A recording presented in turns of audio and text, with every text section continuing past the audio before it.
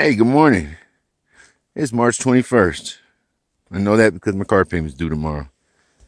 I'm at Bridger Bowl, getting ready to ski down some nice low angle trees. And I got this bright idea to film it. Then this other voice in my head says, It's kind of dumb. What if you drop your phone? What if you crash? Anyway, we're not listening to him. So I'm going to film this little mini tree run, low speed, relaxing. Maybe the sounds and the sights will relax you.